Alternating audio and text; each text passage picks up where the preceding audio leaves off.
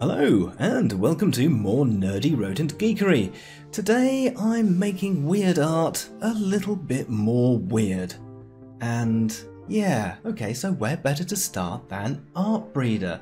Well, that's very good because what I want to do is create a very short video. I'm only going to have about 60 frames in this. And then, after I've done my little video, I'll be applying some neural style transfer to it. So obviously you can do this as well if you want to follow along. All this stuff is free. So you can create a new video. Let's just say, I don't know, I'll do some furries and you want to animate and uh, you know, you can edit an old one or whatever. Now I only want 60 frames. So, you know, when you're doing it, you can pick a couple of uh, little images. I'm just picking some ones at random here. There we go. Now you see that quickly creates a lot of frames. Uh, you can make it a little bit shorter down there and apply all, or you can lower the, FPS. That'll also give you fewer frames. So that's that's the first thing to do. Get your video 60 frames, save that. We're on to the next section. Okay, so we're on the next section here, which is the neural style transfer. And uh, just to show you what that video looks like quickly, here is the original video.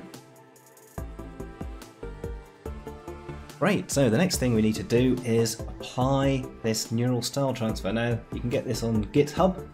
The little address is up there in the bar, but of course I've put it down in the description as well, so you can just click on it. Uh, this is a TensorFlow implementation, but it's quite an old one, so you will need to use TensorFlow 1.15 is the one I'm using. Uh, they do have a lot of deprecated features in there, so if you try and use TensorFlow 2, it, it won't work. Um, but this is this is very good, as you can see here. Uh, you can transfer the style of various artworks, uh, and it, it, it, does you know pretty good job. Lots of lots of good quality on there. Uh, you can uh, you know adjust the style and how much weight you want to put into it. You can use multiple styles, which I haven't done yet. I'll be doing that later. Combining two styles into one picture sounds like fun.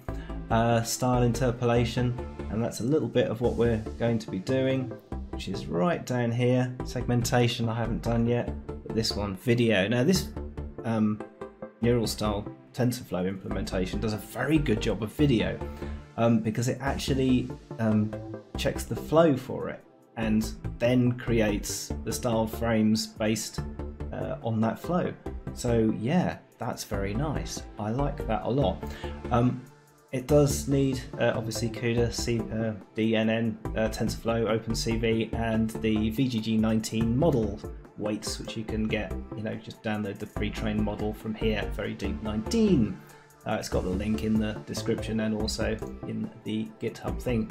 Basic usage here, which is fantastic. And they give you some scripts and tell you what all the different arguments do and shows you some really complex stuff down at the bottom that you really, really honestly don't need to know about. All I was doing here was um, basically doing the neural style transfer um, with some videos. Now, um, that meant first getting some styles. So I had my video from Artbreeder, so then I need some styles. Now, styles are quite tricky, and you sort of have to get an eye for what file is going to be um, a good style. So, one thing that I quite like is uh, Pixabay for this. Now Pattern gets you some quite good ones. You see that that would make quite a good style. Um, it's got lots of colours and they repeat, and it, seems like a pattern that it would it would recognise. The same with these and the bricks. Um, where you have styles like this, obviously you can choose whether or not to use the colours from the style or from the original image.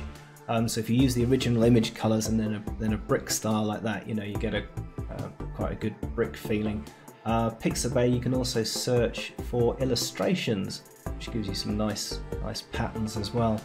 So something like that may work. That might be quite a good pattern. That would be a good style.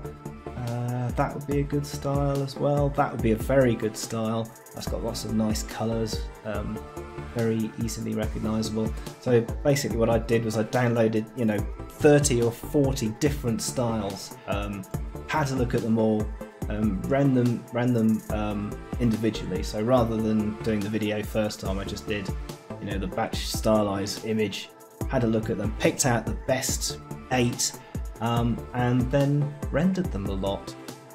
So, on to the next section. Okay, so the next section is upscaling.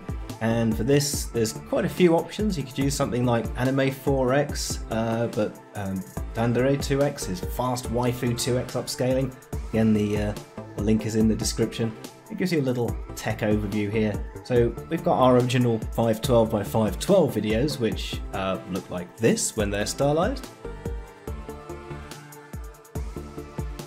And then if you upscale it, they look like this. So here's a little overview of what this does. You basically see you've got a low resolution, it's brought up to a higher resolution, and while this is quite you know, grainy, you've got all these artifacts here, when it increases the resolution it actually smooths that out a lot. I don't know whether you can see it, hopefully you can see it on the video, but if you go to the GitHub page it's, it's, uh, it's quite obvious. And there we go, lots of technical information about how fantastic it, it is at upscaling, um, and it is it is very good. Um, yeah, you get a little GUI as well, so you know you don't have to worry about it being very difficult to use. So yeah, you can just you know select your type waifu type, uh, the denoise level, the scale factor, uh, and upscale your video. Away you go. Fantastic.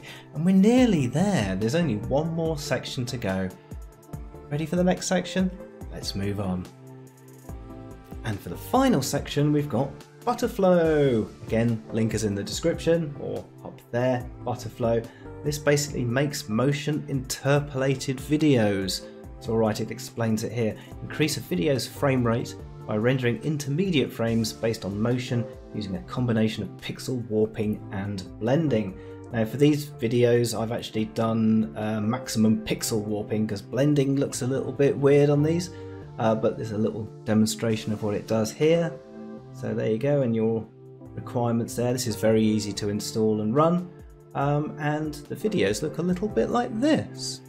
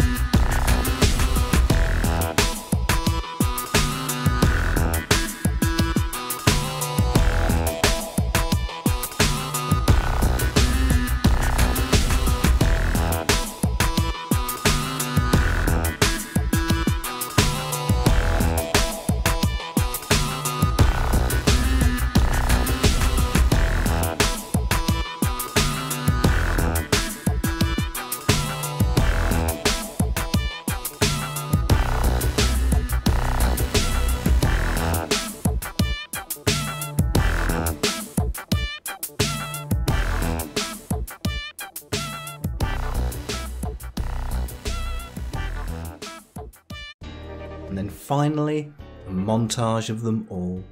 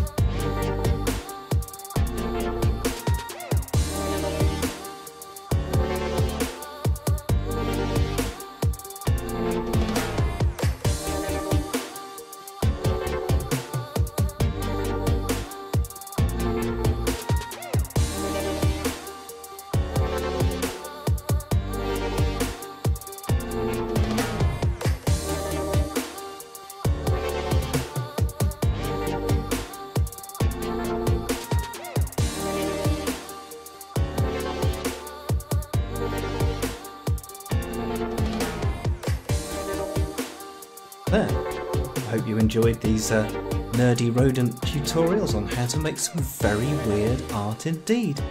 Good luck and get creating. Bye!